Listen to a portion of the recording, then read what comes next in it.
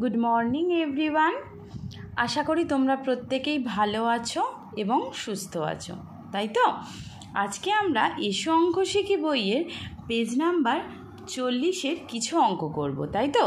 আগের দিন আমরা পেজ নাম্বার উনচল্লিশের এই, এইটুকু করেছিলাম ওকে এভরিওয়ান আজকে আমরা তারপর থেকে শুরু করব। দেখো, আগের দিনের কাজটা তোমরা খুব ভালো করে করেছ ভেরি গুড দেখো, নিজে করো সাত, প্রত্যেকে পেজ নাম্বার চল্লিশ খোলো একের ক, সংখ্যাগুলি স্থানীয় মান স্থানীয় মান অনুসারে সাজিয়ে যোগফল নির্ণয় করো। তোমাদের আগেই বলেছি, স্থানীয় মান অনুসারে সাজিয়ে লিখতে বললেই এই রকমভাবে একক, দশক, শতক, একক, দশক, শতক, হাজার, অযুত, এইভাবে সাজিয়ে নেবে। ওকে?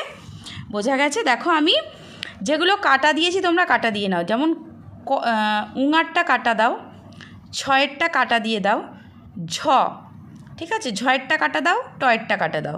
এদিকে চলে এসো, চ কাটা দাও বর্গীর জ কাটা দাও, ইঙো কাটা দাও। এ সরি ইঙো কাটা দেবে না, ইঙোটা করব, থয়েরটা কাটা দিয়ে দাও। ওকে এভরিওয়ান বাকিগুলো আমরা করব। দেখো, একের ক আমি এখানে করেছি। স্থানীয় মান অনুসারে সাজিয়ে আমি যোগ করেছি, ঠিক আছে? তোমরা এই যোগ পারবে, দেখো হাতে রাখা যোগ নয় এটা।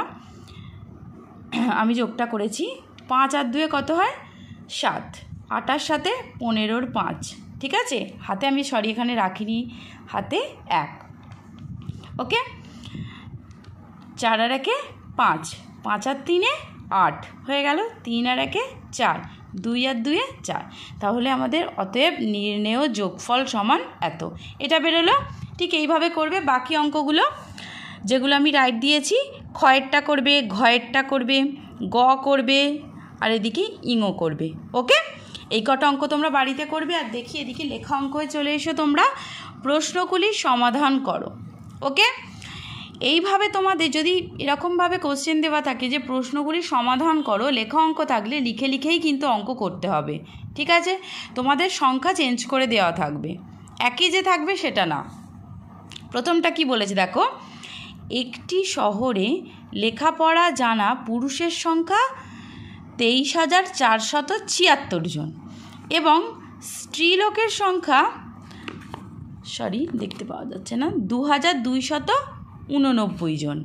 ঠিক আছে? ওই শহরে লেখাপড়া জানা মানুষের মোট সংখ্যা কত?